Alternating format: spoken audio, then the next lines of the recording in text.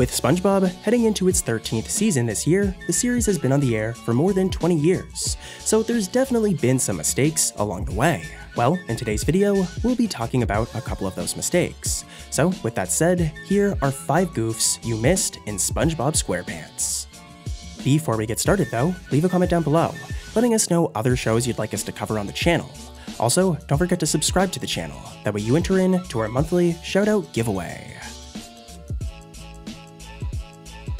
Our first mistake can be found in the very first episode of Season 13, A Place for Pets. In this episode, Mr. Krabs turns the Krusty Krab into a pet-only establishment, meaning that real fish are not allowed inside, resulting in a bunch of disappointed customers. Heading back to the beginning of the episode though, there's a pretty bad mistake revolving around Squidward's Krusty Krab hat. Normally, this hat has a black outline.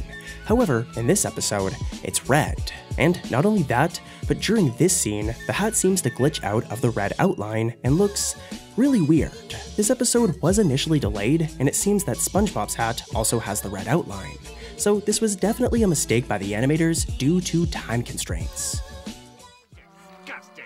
You people eat like animal, animal, animal.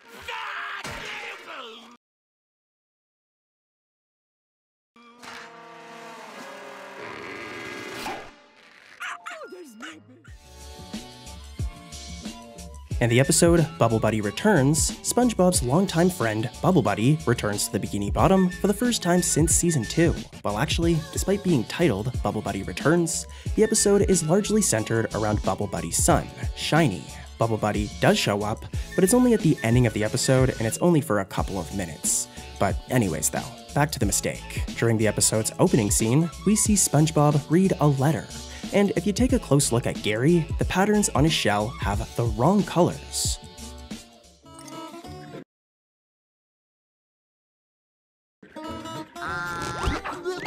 Oh boy! Did you hear that, Gary? They want me to watch Little Shiny.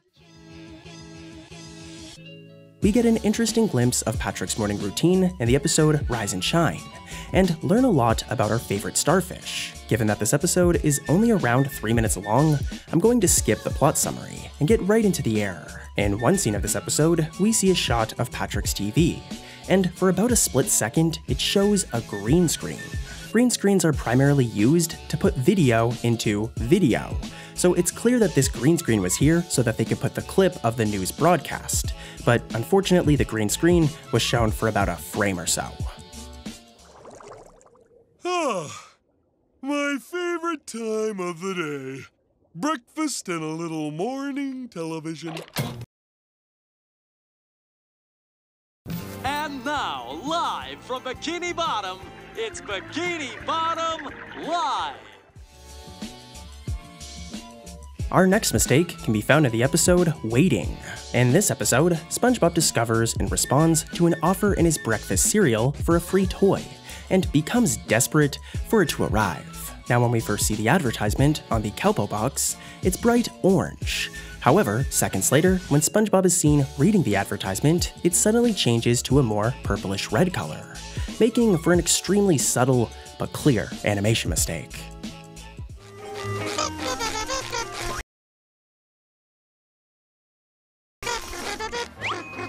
What's this?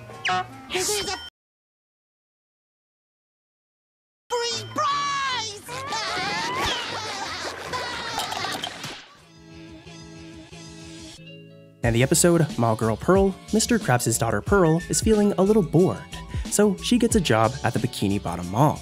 Now, the actual mistake in this episode is a little complicated, so let's just get into it. In the season 1 episode, Sleepy Time, we get a glimpse of Mr. Krabs' driver's license, which claims he was born on November 30th, 1942, and that his address is 3541 Anchor Way. However, in Mall Girl Pearl, we get another look at Mr. Krabs' driver's license, but this time it says that he was born on September 25th, 1960, and that his address is 2219 Anchor Street. Of course, Mr. Krabs could have moved in between season 1 and season 10, but you can't change your birthday.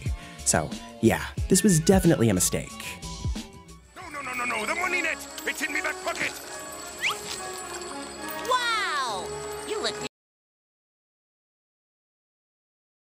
Having a mustache, Mr. Krabs. Guess what?